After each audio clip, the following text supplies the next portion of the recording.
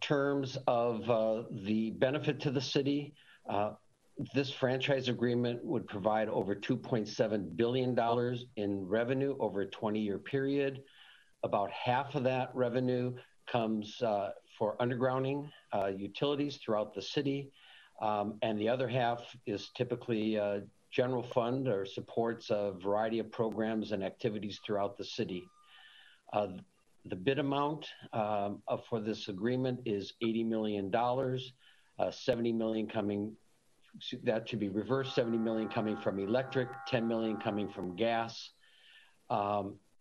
as, as well as an, an additional $20 million uh, for the climate equity goals and or into, put into the climate equity fund and $10 million